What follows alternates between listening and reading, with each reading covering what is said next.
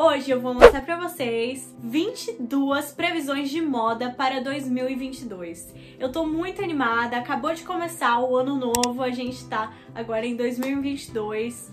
Infelizmente, o Omicron tá indo com tudo, mas se Deus quiser, tudo vai dar certo, a gente vai tomar a terceira dose e vai tudo ficar bem. Mas enfim, eu acredito que a pandemia afetou o jeito que a gente se veste bastante, principalmente agora que a gente teve, tipo, um tempinho que a gente pôde sair, fazer as coisas, as coisas reabriram e a gente quer realmente ir com tudo, vestir coisas bem ousadas para sair, porque a gente passou um tempão usando pijama em casa, né? Então é isso, bora começar. 22 coisas são bastante, então bora lá pra esse vídeo não ficar longo demais. Eu fiz um documento, na verdade um notes no meu iPad. Eu vou colocar as fotos aqui na tela, por isso que eu tô usando meu iPad, que eu tenho todas as coisinhas aqui. Então, a primeira previsão seria, não é muito bem uma previsão, mas é uma continuação que vai continuar, não vai sair de moda em 2022, que são as calças de cos baixo. Ou seja, aquelas calças bem low-waisted mesmo, com as blusas mais compridas. Então a gente tava usando muito com cropped essas calças low-waisted, mas eu tô vendo que vai ser bastante usado com blusas mais compridas também. Bem anos 2000, bem High School Musical, Gabriela Montez, né? Próxima previsão, plumas plumas, penas. Eu, eu não acho que só plumas, eu acho que também muita, muita fur, que é pelinho, essas coisas. Eu acho que vai ser uma coisa que vai estar tá muito presente. Não é só eu que acho isso. Então, olha aqui pra vocês verem. Nas mangas, eu acho lindo demais, acho muito bacana. Também agora vai aparecer bastante nas calças. E acredito que calças de pijama, eu tô vendo várias pessoas usando essas calças de pijama que tem plumas embaixo, assim, ó, no acabamento da calça. Eu achei lindo. Então, aqui, ó, nas mangas, no finalzinho da calça. E eu também acho que bastante aqui, ó, no colarinho. Bastante aqui. Esses são os cantos que vão ter essas plumas. Aqui em cima, se for um corset, mas eu acho que tudo plumoso, uma coisa grande, não vai ser. Seria mais, mais fino, mais, mais chique, eu diria. Próxima previsão, Opera Gloves. Aquelas luvas compridas de ópera, exatamente. Tem essa daqui transparente, que é outra coisa que a gente vai falar. Preta, básica, clássica. Aqui eu coloquei a Madison Beer no show dela que eu fui, Life Support Tour. Ela tava usando com praticamente todos os looks dela. Todos os looks dela, ela tava usando aquela luva comprida de ópera. Então é uma coisa que já começou a estar tá bem presente no mundo da moda e eu tenho certeza que vai continuar e vai ficar mais presente ainda. Próxima coisa é uma coisa que eu adoro, que são pérolas. Gente, eu sou obcecada com pérolas, como vocês podem ver. Hoje eu não tô com muitas pérolas, mas eu sempre tenho pérolas em mim. Eu sempre tô usando pérola de alguma forma. Eu acho que ultimamente eu parei um pouco, mas eu tô super feliz que tá voltando isso de pérolas, porque é realmente uma coisa que eu sou obcecada. Eu acho que é bacana misturar um colar mais simplesinho com um colar de pérolas, eu acho que fica lindo. Não precisa ser pérola verdadeira, só um colar de pérolas mesmo. Eu acho também, eu tô vendo bastante no TikTok o pessoal com esse top que é meio que um sutiã de pérolas. Eu achei muito bonito. Tem pessoas que não gostaram e falaram que parece tapete de banheiro, sabe aqueles que você coloca assim no chuveiro?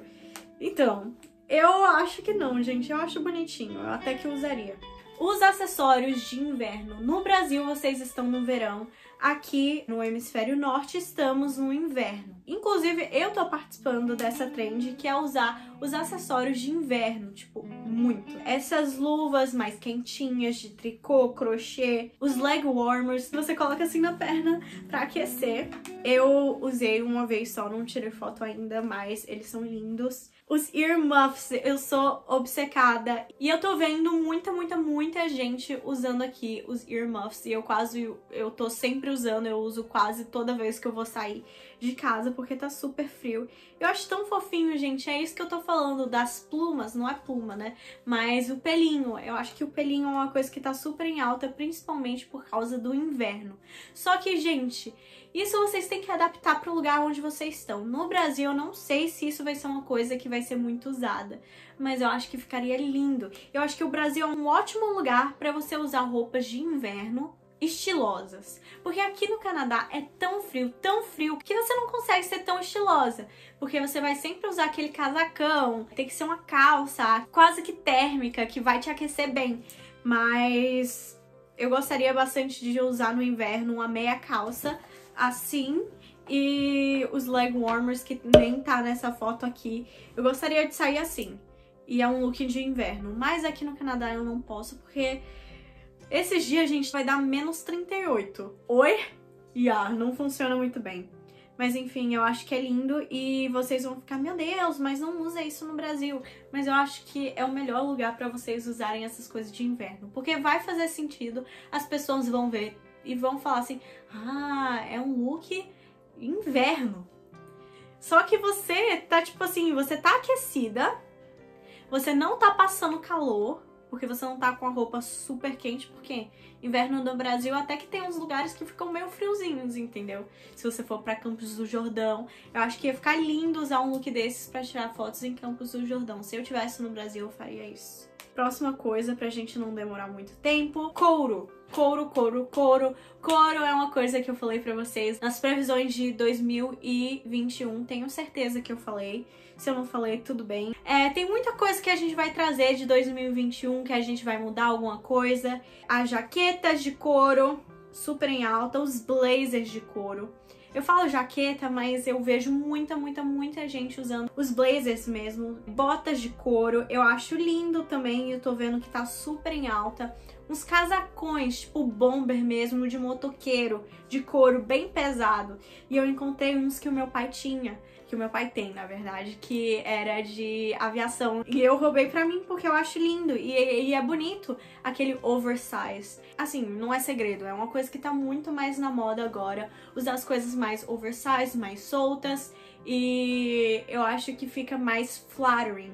Mesmo não mostrando, não sendo não sendo uma coisa justa que mostre o seu corpo, eu acho que fica muito mais flattering e não fica vulgar.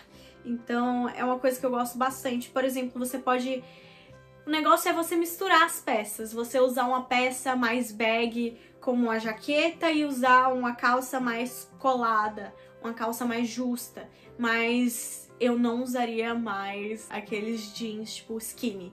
Eu acho que, gente, isso morreu por enquanto. Eu acho que não vai voltar nem tão cedo. Mas se você gosta, você usa o que você gosta. É isso. Mas é isso que eu tô falando pra vocês, uma coisa mais pesada, usa com uma saia, com um short, uma coisinha mais assim, porque aí fica, fica legal e fica flaring, fica bacana no corpo, entendeu? Calça de couro, isso tá na moda faz tempo, mas vai continuar. Uma coisa, é, eu não vi muita gente falando, mas eu observei que a Christian Dior tá fazendo uma campanha com a bolsa nova deles que eles querem promover, que é uma bolsa em forma de uma lua crescente. Eu vi que a Dior pagou vários influencers, inclusive queria ser um deles, mas não sou. Pagou vários influencers para tirar uma foto e postar no Instagram. Então, eu acho que vai ser uma tendência por causa desses influencers, que vários influencers estão postando sobre essa bolsa. E eu vi outros modelos de bolsa nesse estilo mais geométrico, com as formas diferentes. Então, não só a bolsa crescente, mas umas bolsas com uns formatos assim diferentes que a gente tá vendo bastante no Brasil. Eu vi que vocês estão usando bastante, não vi muito isso aqui mas eu vi que vocês estão usando bastante aquelas bolsinhas de resina, de, de acrílico, não sei explicar, mas é uma coisa mais geométrica. Eu sei que geralmente elas são quadradinhas ou retangulares, mas enfim, eu acho que essa brincadeira da, das formas, uma forma definida, eu acho que vai ser uma coisa bem legal para você usar e abusar é, nesse ano de 2022. Uma cor que vai ser muito, muito, muito usada, eu tenho certeza, porque eu tô sentindo, eu fiquei assim, nossa, eu preciso uma coisa dessa cor. Preciso uma coisa dessa cor e eu tô procurando faz um tempo. É a cor azul bique. essa cor azul Bic, ela vai voltar com tudo, eu tenho certeza, que é o Navy Blue em inglês, que é o azul da marinha. Não é azul marinho exatamente, é, mas não é. É um azul mais vibrante, é exatamente o azul da caneta Bic, mas em inglês a gente não fala isso. Eu botei aqui um exemplo pra vocês de é, sweatpants, e a moça tá usando um hoodie, então combinando, eu acho que fica bem legal esse estilo meio de só uma cor, como que fala isso? monocromo. Monocromo? Não sei, gente. Mas você também pode usar só um casaquinho assim, dessa cor, eu acho. Acho que boné dessa cor, gente. Olha o boné dessa moça, que lindo. Próxima coisa seria o crochê ou tricô destruído. Então, tipo assim, com, com essa impressão que tem uns buracos, umas coisas assim, eu tô vendo que tá sendo bastante usado. Então aqui nós temos as luvas, a gente tem esse estilo de top que tá sendo usado com a camiseta, uma camisa, na verdade, igual a minha, uma camisa social. Eu achei muito legal. Ele não é destruído, mas ele tem um ar destruído, ele tem um ar mais despojado, mais mais cool, mais mais rebeldezinho, não sei explicar. E também tem ele colorido, ó, pra vocês verem usando, aqui estão usando ele como um bolerinho, tipo uma manga. Eu achei que ficou super legal e eu acho que é uma coisa super interessante pra você fazer um upgrade no seu look. Você tá vendo aqui que a moça tá usando um look marrom. Ok, marrom é uma cor it, é uma cor incrível que tá todo mundo usando e que tá muito presente na moda. Mas é um look mais simples, você tá vendo só um tube top e uma calça mais é, justinha. Mas aí ela coloca essa manga, esse bolerinho, e ficou, tipo, colorida, ficou muito mais despojada, muito mais legal. E eu acho que é uma coisa legal para você apostar nos seus looks, para você poder ter esse diferencial, entendeu? Eu acho que você usa com uma coisa mais simples e aí você transforma o seu look. É uma coisa bem bacana pra você elevar mesmo o seu look. Uma coisa que também vai estar tá super alta, é, faz parte dos acessórios de inverno, que são as balaclavas. Balaclavas é tipo um gorro, só que ele cobre essa parte da sua cara e ele, tipo... Vocês estão vendo aqui, tá vendo? É um gorro, literalmente um gorro que você coloca na sua cabeça, de tricô, crochê, tem esses daqui com os quadradinhos também de crochê. Eu fazia crochê faz um tempo, eu não tenho muita habilidade para fazer esse tipo de coisa, mas eu gostaria. Uma coisa super, super, super legal que eu já investi são as botas quadradas. Toda bota que tem um bico quadrado, com certeza vai ser bastante usada. Tá vendo que bonita que é essa bota, gente? Eu sou apaixonada nela. Essa bota eu comprei numa loja de departamento e ela é da marca Pons Quintana, que depois eu fui descobrir que é uma marca de luxo. Ela é uma marca não é extremamente cara, mas também não é barata. Não foi barata essa bota, foi uns 100 dólares. Mas eu tô apaixonada nela. Olha que linda! E ela foi feita à mão, então é loucura. Eu mostrei pra vocês no TikTok, vocês piraram. Sim, ela é incrível e eu nunca vou parar de usar essa bota, ela é maravilhosa. Ainda bem que faz quatro anos que o meu pé não cresce, acho que cinco anos que meu pé não cresce. Então provavelmente eu vou poder usar essa bota pra sempre, então eu vou cuidar muito bem dela. Óculos. Um estilo que vai estar tá super tendência é o estilo dos óculos dos anos 70. Anos 70 voltou bastante no ano de 2021, principalmente no verão aqui no hemisfério norte. A Zara criou uma coleção é, praticamente toda voltada nos anos 70. Então tava bem popularizado esse estilo dos anos 70, as estampas mais psicodélicas, bem peace and love mesmo. É, o que vai voltar dos anos 70, o que vai estar muito presente esse ano são os óculos quadradões com cores, sabe? Aquelas lentes coloridas.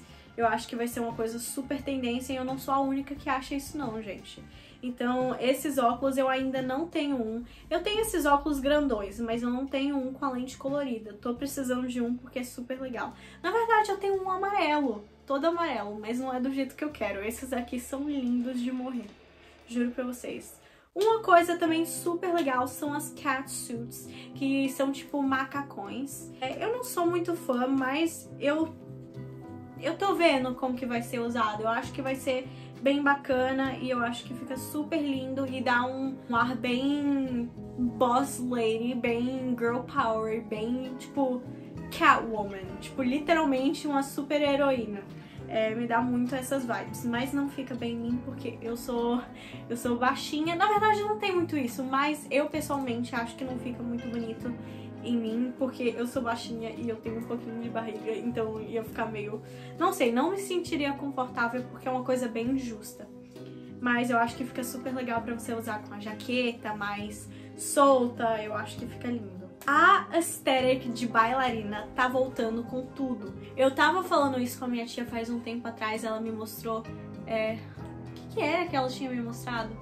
Uma coisa assim, eu acho que era uma sapatilha, bem bailarina mesmo essa aesthetic de bailarina tá voltando com tudo. As meias calças estão sendo super usadas, não que são necessariamente uma coisa de balé, mas nessa aesthetic, essas meias calças que parecem de bailarina. Os leg warmers também são uma coisa de bailarina, aqueles aquecedores de perna.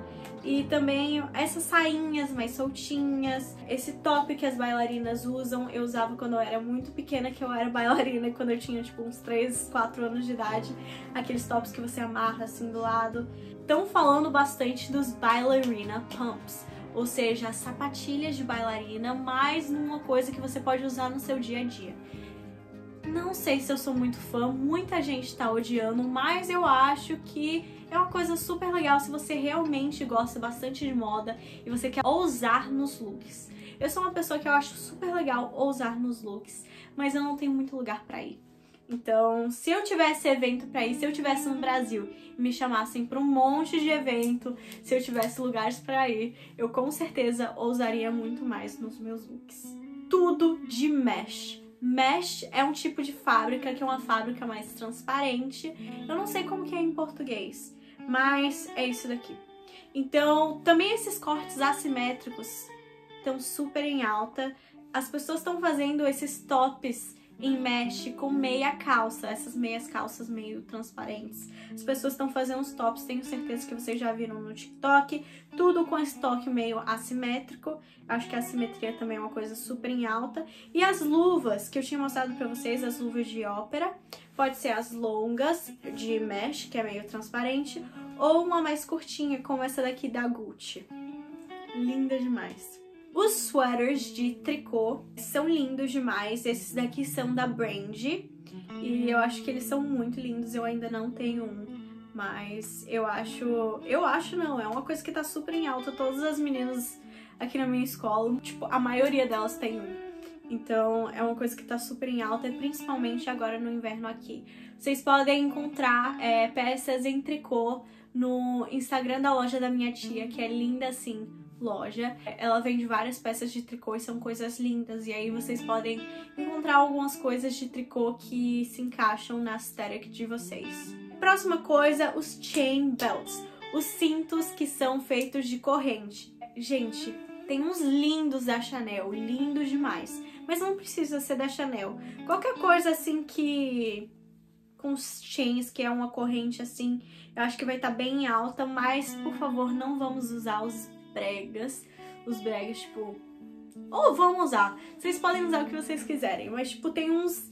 Tipo, mesmo esse da Chanel, ele é bonito porque é Chanel, infelizmente. Mas, tipo assim, uns grandões assim, eu acho que não é o move. Eu acho que é uma coisa mais simples, mais dente. E se for alguma coisa grande, seria alguma coisa que relacionasse a marca. O que não é 100% o que a gente quer, porque não é todo mundo que tem dinheiro para ficar comprando esses cintos de marca, né? E como é uma trend, não é 100% bom investir nisso. Porque trends são passageiros. Gravatas. Gente, gravatas estão sendo muito usadas. E, tipo assim, com qualquer roupa, não, tipo, amarrada, amarrada, tipo, arrumadinha. Você pode usar assim. Mas elas mais soltas, no estilo Serena Van Der Woodson. Que ela usa bem solta, assim, ela usa no dia a dia. Ela tem um effortless look. Ela tem um look bem, tipo assim, que parece que ela não tava ligando muito pro que ela tava vestindo, mas no final funciona. E ela tem aquele estilo, sabe? É o estilo da Serena. Ela usa muito essas essas ties, que são essas gravatas. os tops que são tipo sutiã. Esses tops sutiã são, tipo, super confortáveis, dependendo do, do seu corpo, se você se sente confortável ou não. Eu acho lindo esses tops e eu acho eles super confortáveis. Eu acho bacana usar esses tops assim, que são meio que mais curtinhos, que é como se fosse um sutiã, eu acho bacana usar com jaquetas. Como estão usando aqui com esse blazer, a Madison Beer tá usando esse daqui com um casaquinho, super fofo, eu acho super legal. Gente, essa vocês não esperavam.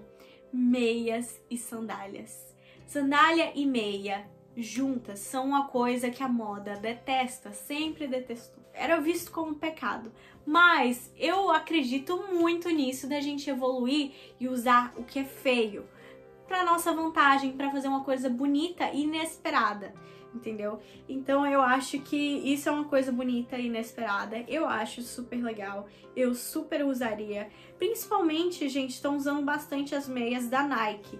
Então, se você vê uma meia dessa, eu acho bacana investir, porque eu tenho um monte e eu uso o tempo todo. Eu sei que é só uma meia, mas é que tipo assim, por exemplo, com a chinela, fica muito mais legal. Gente, olha que bacana. Tipo, it's actually cool. Eu achei muito legal. Última coisa é a Clean Girl Aesthetic. Gente, tem muita gente falando sobre isso no TikTok, não sei se vocês viram, mas é a aesthetic das meninas limpas. É tipo assim, um estilo bem model, bem modelo. Sabe que as modelos não podem usar muita maquiagem quando elas vão para um casting, para uma pra entrevista, alguma coisa assim. Não é entrevista que a gente fala, mas um teste, uma audição. Quando a modelo vai, ela não pode usar um monte de maquiagem, seria um look mais natural. Geralmente é o que as agências pedem. E aí, esse look mais clean, da pele limpa, é uma coisa que tá bem em alta. Só que eu acho que isso tá em alta porque é uma coisa que promove você cuidar de você mesma, cuidar da sua pele, de você beber mais água, fazer exercício. É uma coisa, é uma coisa, é um ecossistema dessa aesthetic. São várias coisas juntas. Eu acho que é tudo isso de você evoluir para 2022, de você fazer exercício, de você cuidar da sua pele, de você beber mais água para sua pele ficar clear. Minha pele não é clear, nunca foi limpinha, assim. Eu tô de maquiagem, gente. É óbvio, tá bem forte. Eu não tô nada clean girl. Mas é uma coisa mais clean, mais leve, umas roupas mais leves também. Eu acho que esse tipo de aesthetic é um lifestyle inteiro.